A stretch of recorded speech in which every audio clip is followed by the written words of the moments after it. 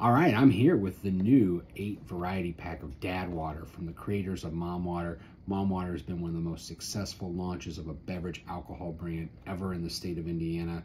Uh, they're fantastic, they're light, they're easy to drink, and there's just something about them that has worked and resonated with people. So natural to come out with this follow-up of Dad Water right on the heels of Father's Day.